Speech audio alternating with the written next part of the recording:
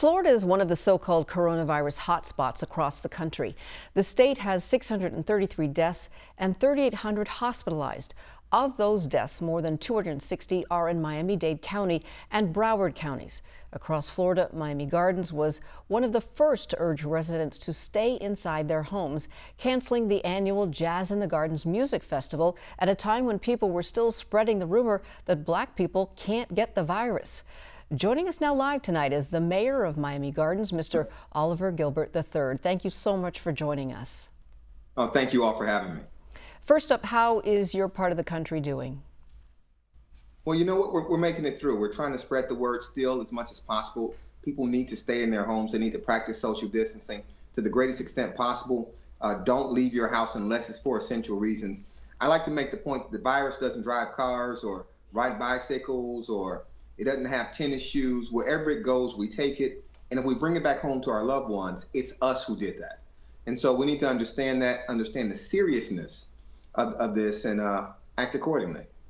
So, what do you think about President Trump's plan to reopen the economy? He presented a three phase plan today.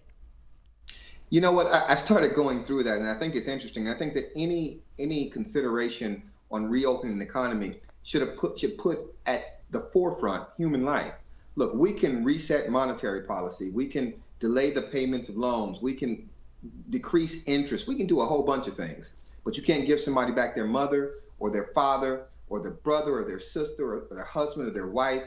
We need to value life in a way that puts it above everything else. And so I, I understand what they're saying, but I hope that when they're going through their deliberations, that, that that weighs heavier than anything else.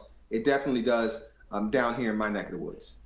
So, Mayor, we've come quite away from the days that we were talking about the myths that uh, African Americans couldn't get the virus. You, of course, uh, are the mayor of a city where it's predominantly African American.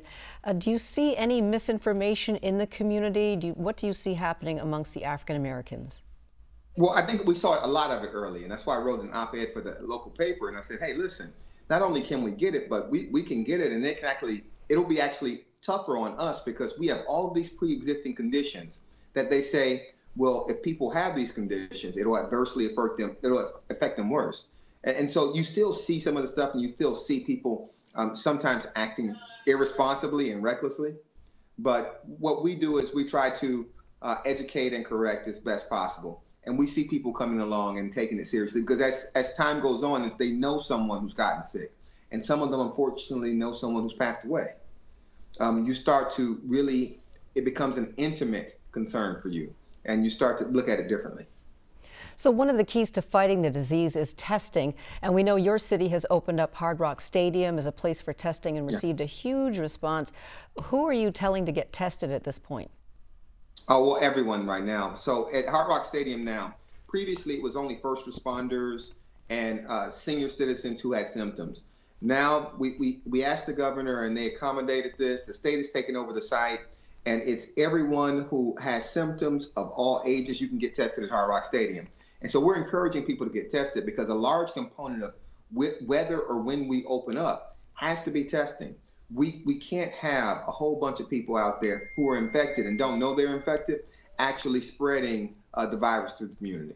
And one more quick thing if you have had the virus, what do you do then? Is there anything you can do to help? Well, you know what? There is something you can do to help. If you had the virus and you gotten over it, I just went on my social media and the city's going to put this out there. If you've had the virus and you can and you've recovered, you can donate your plasma.